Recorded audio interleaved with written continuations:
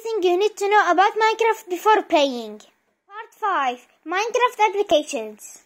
Minecraft application, 3D thinking and pixel art may be used in many fields, like first, computer aided designs, like shown in this video. Blocks to CAD is a cross application bridge from Minecraft to 3D solid building. Players start in a Minecraft like world. The system monitors their behavior and unlocks new tools to progressively add to Minecraft.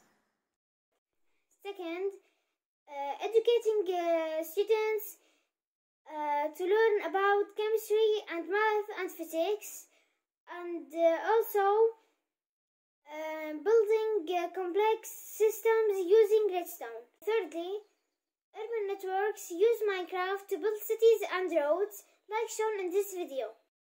Uh, by example, this is uh, a city called Me- Meteopolis built in Minecraft.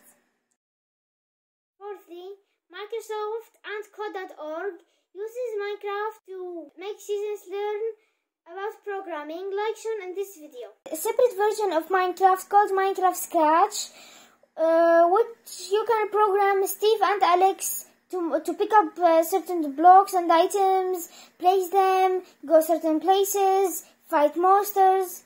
Uh, and the uh, coding is very similar to coding in Scratch. There are there are uh, many fields you can use Minecraft in, but for me, I am playing Minecraft because I enjoy it very much. And in Minecraft, you can roam freely and explore a lot of uh, cool things. Also, I can play with my friends. I hope you enjoyed uh, this video. Later, I'll upload many videos about Minecraft. Don't forget to subscribe. See you next video. Bye.